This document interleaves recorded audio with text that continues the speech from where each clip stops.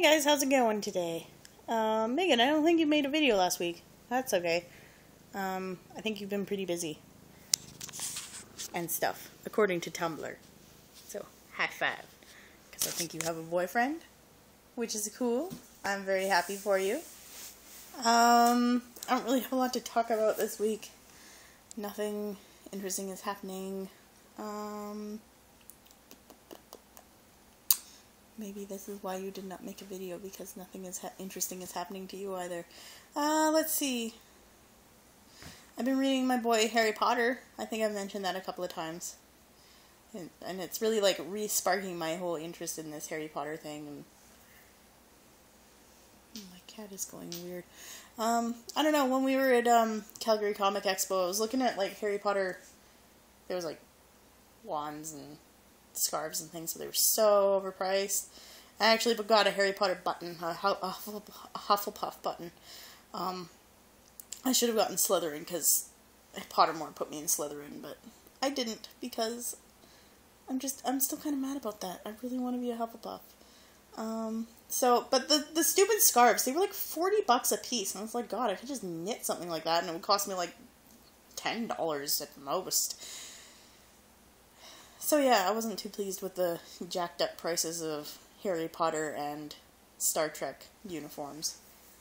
Star Trek uniforms. I really wanted one of those too, but they were so expensive. But lots of people were buying them. There were a lot of Starfleet officers at that expo. It was pretty cool. Um, and it's apparently the only thing I can ever talk about ever again because I had so much fun there.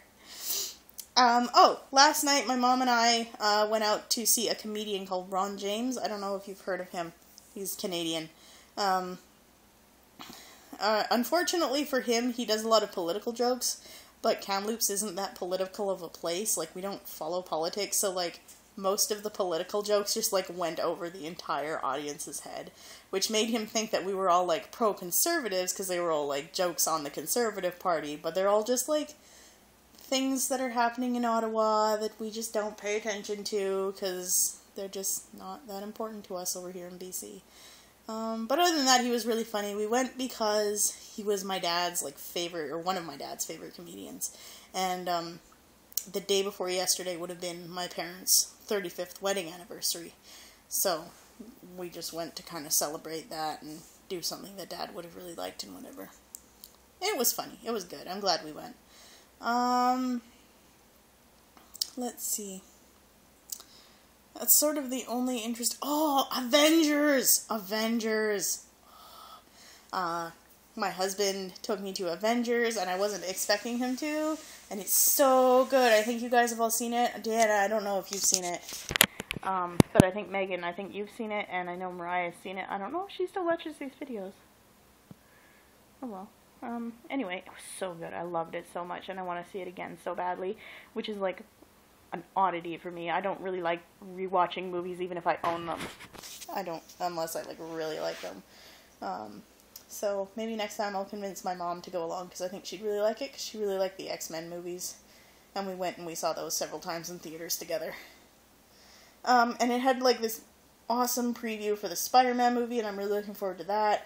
And there was one other one too that I feel like I should remember what it is because I remember being really stoked for it at the time, but I can't remember what it is off the top of my head.